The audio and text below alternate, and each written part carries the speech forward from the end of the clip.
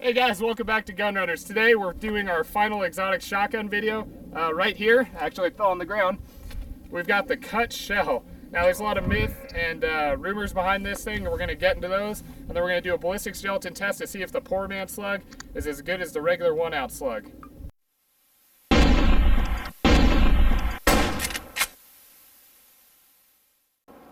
This here is a cut shell, also known as a poor man slug. The basic idea is that you take a regular shot shell and you slice around the edges until the front tip is barely hanging on. Then once you load and fire the slug, the front end of the shell continues all the way into the target and contains the shot.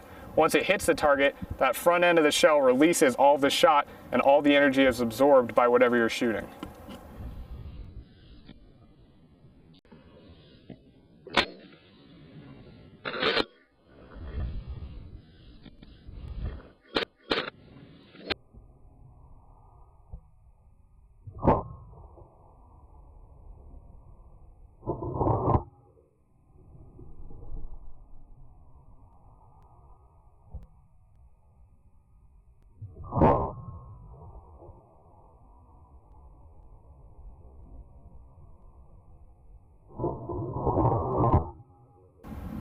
Okay guys, let's check out what we've got. Uh, this here's the top of the block, so you guys are looking from the top end.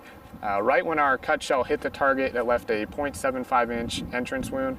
Continuing on into the block, it seems that at about the one inch mark, the shell released all of the BBs and left a massive permanent cavity of about two inches in diameter, and that lasted from the two inch to the four inch mark.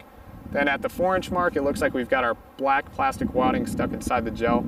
Continuing on up until the nine inch mark, we have all of our BBs stopping inside the gel. Now I don't think we had any that penetrated out the side or the top. I don't see any uh, exit wounds there.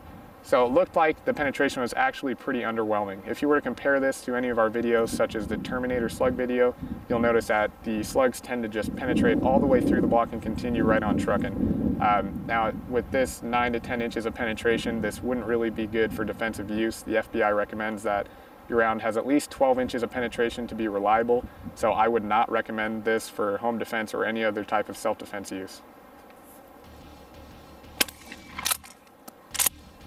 All right, guys, thanks for joining us today. If you enjoyed our exotic shotgun series, please leave a comment below telling us what you want us to test next. Um, also, don't forget to like, share, and subscribe. It's free and it really helps us out. All right, guys, have a nice day.